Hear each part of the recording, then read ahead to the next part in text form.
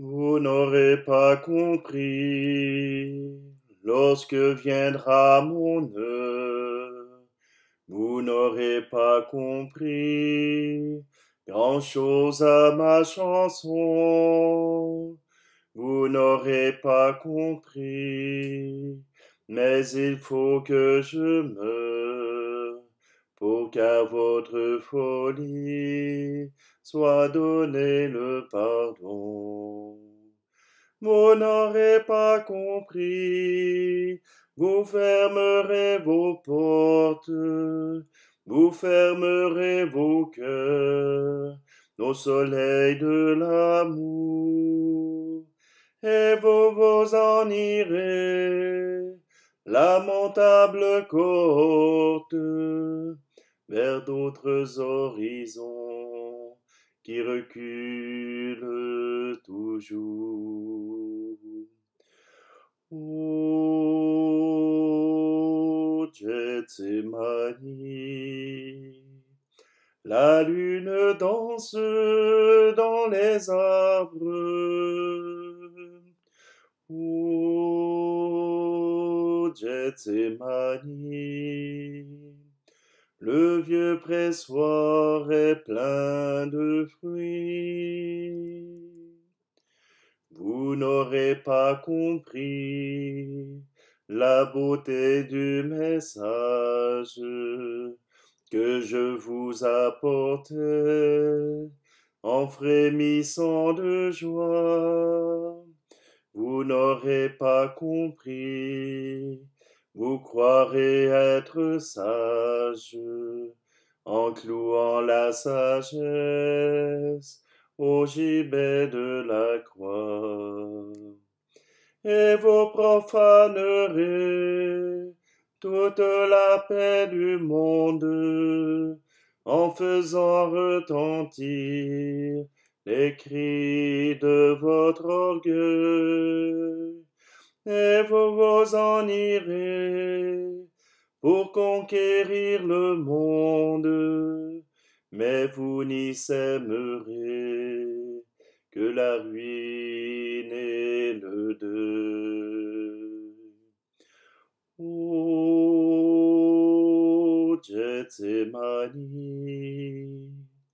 la lune danse dans les arbres.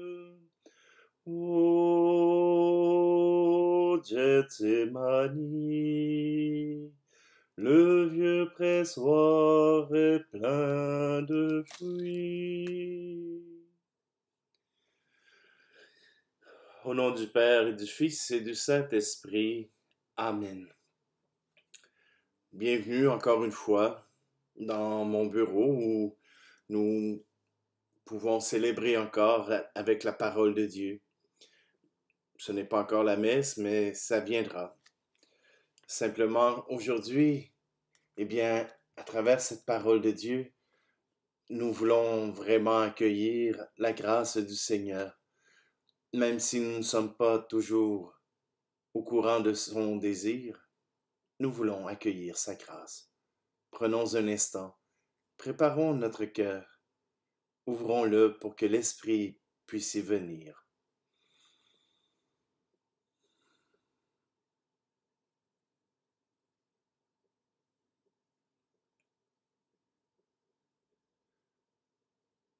Ô Esprit de Dieu, toi qui viens dans nos cœurs pour y révéler la vérité sur le Christ, y révéler la vérité sur Dieu le Père, toi qui viens nous apporter et transformer nos cœurs, nous voulons te rendre grâce, et c'est par ton intercession que nous demandons tes lumières, tes grâces, et que notre prière puisse être portée jusqu'au Père. Nous te le demandons, toi Esprit Saint, qui vis avec le Fils et le Père pour les siècles des siècles. Amen. Lecture du livre du prophète Zacharie. Moi, Zacharie, je levai les yeux, et voici ce que j'ai vu un homme qui tenait à la main une chaîne d'arpenteur. Je lui demandai Où vas-tu Il me répondit Je vais mesurer Jérusalem pour voir quelle est sa largeur et quelle est sa longueur. L'ange qui me parlait était en train de sortir, lorsqu'un autre ange sortit le rejoindre et lui dit Cours et dis à ce jeune homme Jérusalem doit rester une ville ouverte à cause de la quantité d'hommes et de bétail qui la peupleront. Quant à moi, je serai pour elle, oracle du Seigneur, une muraille de feu qui l'entoure, et je serai sa gloire au milieu d'elle. Chante et réjouis-toi, fille de Sion. Voici que je viens, j'habiterai au milieu de toi, oracle du Seigneur. Ce jour-là, des nations nombreuses s'attacheront au Seigneur. Elles seront pour moi un peuple, et j'habiterai au milieu de toi. Alors, tu sauras que le Seigneur de l'univers m'a envoyé vers toi. Acclamons la parole de Dieu. Je vais reprendre le chant de Robert Lebel qui nous amène à une belle espérance où Dieu nous dit qu'il ne nous quitte pas. Dites-lui que sa faute est enlevée, dites-lui que sa faute est oubliée et lavée dans l'eau vive qui jaillit du cœur de Dieu. D'écarlate, elle est plus blanche que la neige. Dites-lui que sa plaie s'est refermée.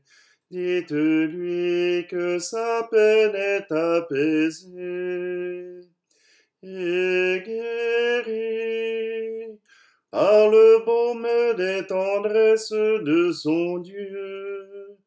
Il le prend comme un berger sur ses épaules. Consolez,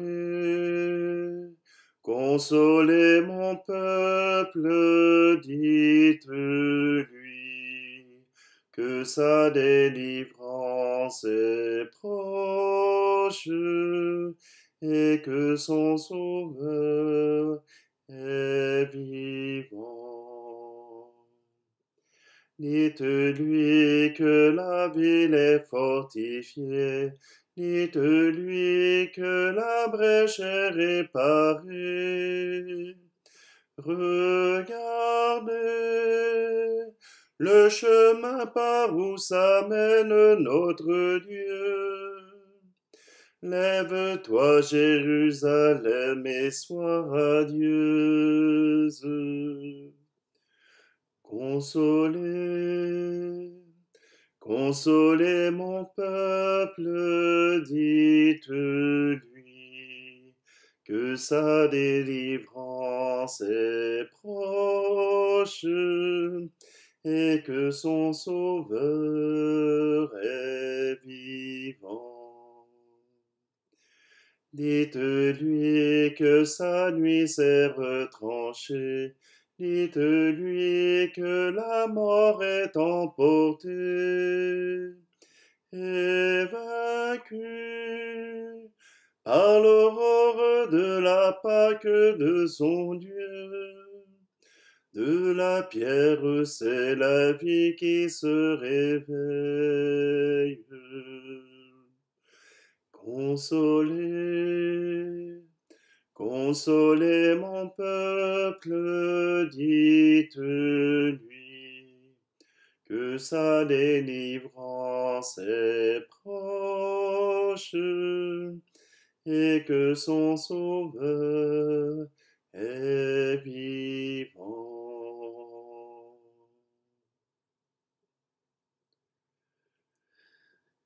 Alléluia, Alléluia, Alléluia.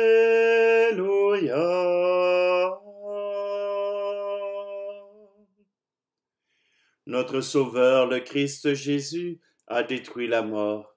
Il a fait resplendir la vie par l'Évangile. Alléluia. Alléluia. Alléluia.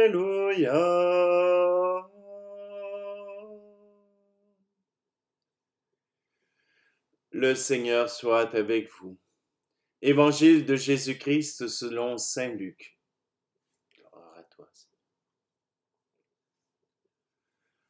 En ce temps-là, comme tout le monde était dans l'admiration devant tout ce qu'il faisait, Jésus dit à ses disciples, Ouvrez bien vos oreilles à ce que je vais vous dire maintenant. Le Fils de l'homme va être livré aux mains des hommes. Mais les disciples ne comprenaient pas cette parole. Elle leur était voilée, si bien qu'ils n'en percevaient pas le sens, et ils avaient peur de l'interroger sur cette parole. Acclamons la parole de Dieu. La parole était voilée. Vous savez, dans notre monde d'aujourd'hui, on voit des paroles voilées partout, que ce soit dans, les paroles des politiciens, que ce soit dans les paroles des éducateurs, des policiers, partout, on nous parle d'une parole voilée. Et il n'y a aucun endroit où la vérité sera franche. Surtout pas dans les palais de justice. Voyez-vous, la parole voilée, c'est c'est un moyen de détourner l'attention. Parce que il y a ce mouvement dans la société d'aujourd'hui qu'on appelle l'ésotérisme. L'ésotérisme, c'est justement basé sur ce qu'il y a de caché derrière les Écritures, derrière la parole de Dieu. Cet ésotérisme vient calquer un peu la religion, mais vient aussi détourner son sens. On vient affirmer que tout n'est pas clair dans la parole de Dieu, qu'on ne peut pas se fier à la parole de Dieu. Or, nous avons eu un grand cadeau qui nous a été donné en 1970, ou peut-être un petit peu avant, c'est ce qu'on appelle les parchemins de Qumran, les parchemins de la mer morte. Dans, dans ces grottes, tout près de la mer morte, on a découvert dans des amphores des parchemins qui parlaient justement de la parole de Dieu, qui nous parlaient des livres de la Torah, mais aussi euh, des évangiles. On avait gardé en manuscrit toutes ces paroles. Il n'y avait pas de photocopieur ni d'imprimerie, alors on gardait euh, par écrit, euh, en transcription manuelle, euh, ces livres précieux. Or, ce même processus a été utilisé jusqu'en 1600 à peu près, où l'imprimerie a été l'imprimerie a, été inventée. Et ce qu'on remarque, si on avait des doutes sur la fiabilité de la retranscription par les moines, c'est que les écrits que nous avons reçus des moines est fidèle à ce que nous avons découvert à Qumran et qui date de l'époque de Jésus. Est-ce que notre parole est une parole cachée? Est-ce que notre parole est une parole voilée? Je peux vous dire que non. Mais simplement que à travers cette parole que nous avons reçue et que nous avons appris à étudier à partir de 1970, ça fait à peine 50 ans, nous découvrons, une Église euh, euh, primaire à laquelle nous voulons ressembler et auquel le monde n'est pas encore prêt, auquel le monde n'est pas encore prêt à accueillir cette parole de Dieu qui nous est offerte. C'est la même parole qui a été prononcée par Zacharie. Le Seigneur veut prendre soin de son peuple. Par la sortie de Babylone, le Seigneur a annoncé sa promesse d'être auprès de son peuple. Eh bien, c'est nous maintenant, le peuple de Dieu, et nous voulons l'accueillir, lui permettre de vivre en nous.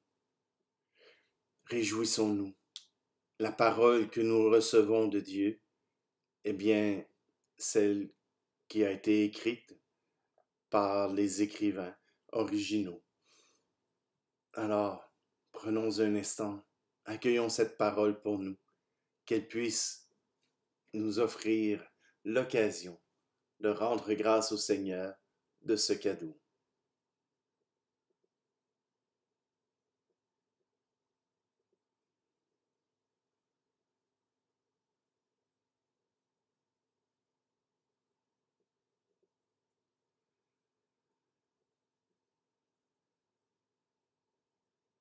Seigneur notre Dieu, ta parole nous est offerte pour que nous puissions vivre et que nous puissions apprendre à te découvrir.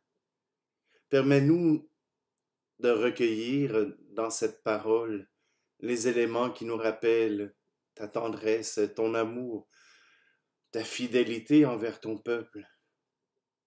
Aujourd'hui, nous pouvons compter encore sur toi et à travers cette parole, avoir une référence pour nous aider à aller plus loin, pour nous aider à découvrir tout l'amour que tu as pour l'humanité. Alors Seigneur, viens nous guérir, viens guérir notre manque de foi pour que nous puissions nous approcher de toi avec confiance. Amen. Et avant, en vous envoyant, je vais demander justement à ce que le Seigneur nous envoie, mais avec quelque chose qui nous donne la joie, qui nous rappelle que nous sommes les enfants de Dieu, que nous sommes les disciples du Christ et que cela puisse aujourd'hui nous apporter la joie. Que le Seigneur Tout-Puissant vous bénisse lui qui est Père, Fils et Esprit Saint. Amen. Je vous rappelle, demain, ce sera une célébration euh, devant l'Assemblée et ce sera le Père Alain Bouchard qui présidera l'Assemblée. Alors, je vous invite à être là. Avec ta vie de chaque jour, dans un peuple en marche, c'est autour de toi l'amour que le monde sache que Dieu est vivant. Sois comme une fête dans le cœur de l'homme, que tes simples gestes parlent du royaume, sois comme une fête avec ta vie de chaque jour, dans un peuple en marche. C'est autour de toi l'amour, que le monde sache que Dieu est vivant. Sois comme une lampe sur lampadaire et que ton exemple éclaire tes frères, sois comme une lampe. Avec ta vie de chaque jour, dans un peuple en marche, sème autour de toi l'amour, que le monde sache que Dieu est vivant. Bonne journée.